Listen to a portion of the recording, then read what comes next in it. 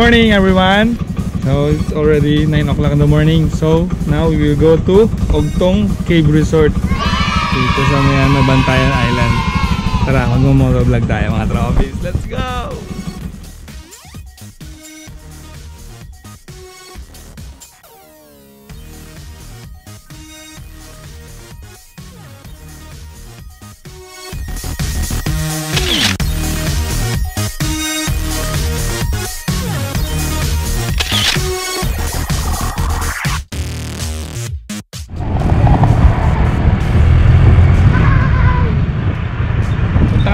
Ng Ob Ob Mangrove.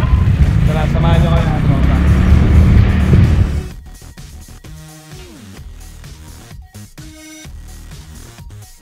Yo mga tropa, bago kayo pumunta ng ano, Mangrove Ob Ob, dito muna sa cliff diving spot nila. Ayan. Na. Tingnan po mga tropa kung gaano kalupit ang buhay. Ayan. Dito yung pinaka cliff diving spot nila. Ayan. Alright, di ba?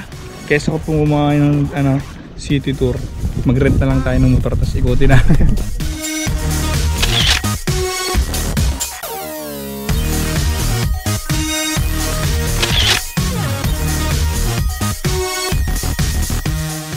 Alright, ngayon pupunta kami ng Up Up Mangrove. Tara, samahan niyo kami mga tropa peeps.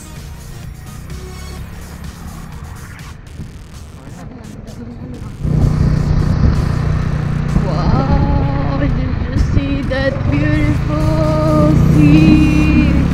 Hey, kahit na naman ang batang tubig na lumangoy. Na batang tubig, gusto mo na naman lumangoy?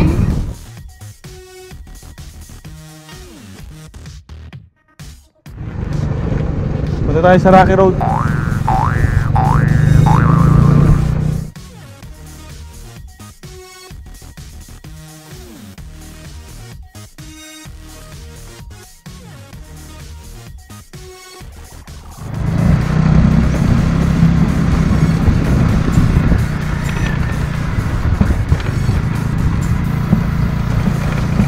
Mangrove Gaming.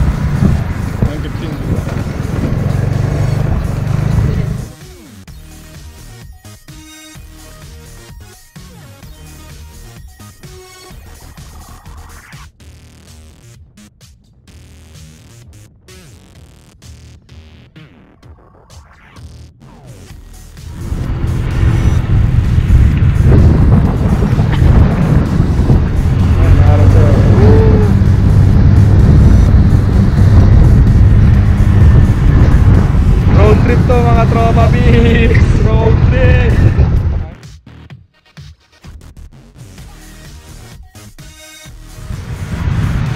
Alright guys. So guys, pag pumunta tayo dito sa ano, sa Bantayan. Mas maganda ano, ah kung na kaya mag-rent ng city tour. Rent na lang kayo ng motor isang araw, tapos ikutin nyo na lang kasi maliit lang naman yung Bantayan. Tulad ng ginagawa namin ngayon. Na nyo, ito. Diretso na ito. Beach na agad. Diba? Malalapit lang. Iikutin mo lang.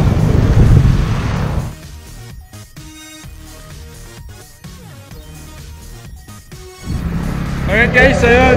Yung motovlog namin dito sa Bantayan.